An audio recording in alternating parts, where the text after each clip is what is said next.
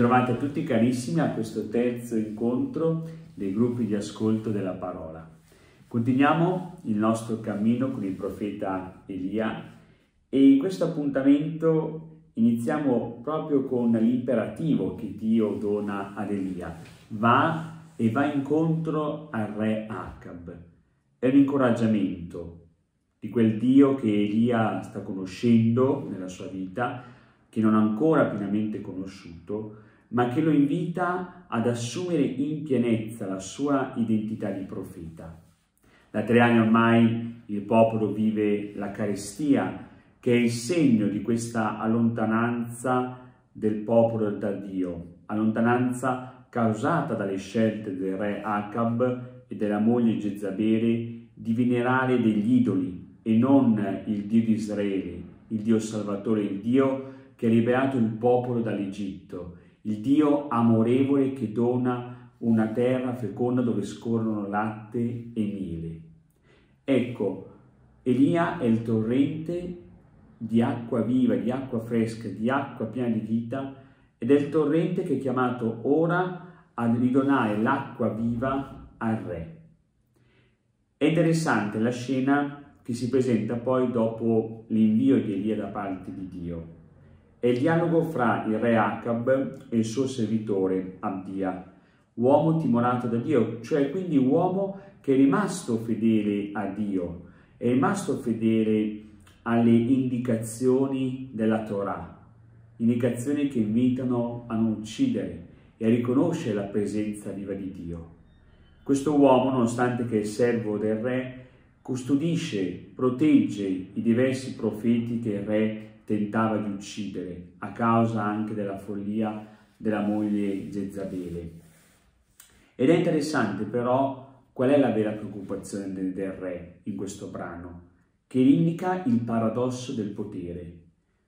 Un governante dovrebbe preoccuparsi del suo popolo, del benessere dei suoi cittadini, della sua gente. Invece il re si interessa del benessere dei cavalli e dei muli e quindi dei mezzi di, caval- di cavalcatura, di trasporto che servivano per i suoi diversi passaggi nel regno. Questo è il segno della povertà del re. È interessante però come in questa povertà c'è una nuova creazione, perché il re manda il servitore ad incontrarsi in una determinata zona. Il termine usato in ebraico è Adamah, che è terra, da cui deriva Adam, cioè uomo, e quindi indica proprio questo andare verso questa zona, un andare verso una nuova creazione che riguarderà sia Acab sia Abdia. La nuova creazione per Abdia è l'incontro con Elia, un incontro che per ben tre volte Abdia deve sapere riconoscere se veramente questo uomo è Elia. Soprattutto la difficoltà di Abdia è di accettare l'invito che fa Elia a lui, cioè quello di andare da Acab a dirgli che Elia è qui, che Elia è presente. Ecco, questa è la grande difficoltà, perché Abdia si trova combattuto dentro a un contesto di peccato, dove lui stesso alla fine rischia la vita. Ed è interessante alla fine qual è la motivazione per cui Abdia si muove. Elia compie il giuramento davanti a Dio, davanti al Dio della vita lo compie anche con gli atteggiamenti tipici di chi doveva giurare e questo indica l'incoraggiamento che Elia porta anche ad Abdia stesso, a uscire fuori dalle diverse maschere che lui ha indossato, a essere sincero e vero davanti al re. Re che nell'incontro con Elia accusa Elia della gravità, insomma, della situazione che si è venuta a creare in Israele, soprattutto della carestia. Quando dei cittadini obbedivano ai comandi del re, si pensava che le divinità punissero questo popolo. Invece è interessante notare il richiamo che fa Elia. Non è per colpa mia, ma per colpa tua, o oh re. È per colpa di quello che tu stai commettendo, di quello che tu ha imposto a questo popolo, il culto del falso Dio. Ed ecco l'invito che fa Elia al re, quello di andare verso il monte Calmero, chiamato il giardino di Dio, un monte di confine tra Israele e la Fenicia, un monte anche molto fecondo, luogo dove si rivelerà la potenza stessa di Dio e soprattutto si rivelerà qual è la vera forza di Dio. La forza di Dio non sta nella grandezza, ma nella sua piccolezza nella sua debolezza.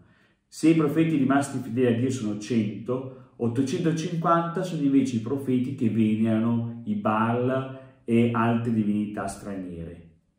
C'è una sproporzione, sembra che ci sia anche una, uno spareggio alla fine fra i due, ma Dio piace abitare la piccolezza, quella piccolezza che rivela la sua grandezza intera.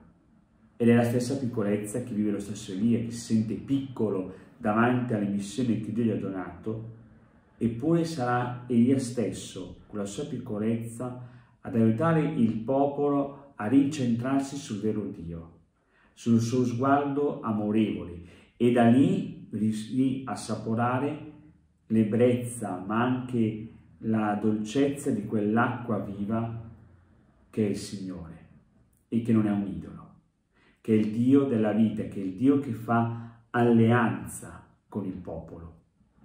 Ecco, da questi brani che abbiamo appena, da questo brano che abbiamo appena ascoltato, possiamo rileggere anche alcune risonanze anche per questo tempo di avvento. Elia sembra un po' il Giovanni Battista che richiama alla conversione, che richiama il nostro cuore, la nostra vita a saper accogliere l'acqua viva, l'acqua vera.